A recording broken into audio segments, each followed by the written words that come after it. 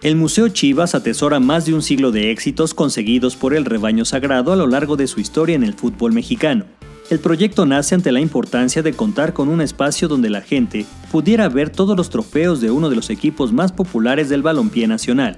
En él se pueden apreciar y disfrutar más de 200 piezas exhibidas, como playeras, balones, zapatos, trofeos, fotografías y ropa deportiva, desde 1908 a la actualidad.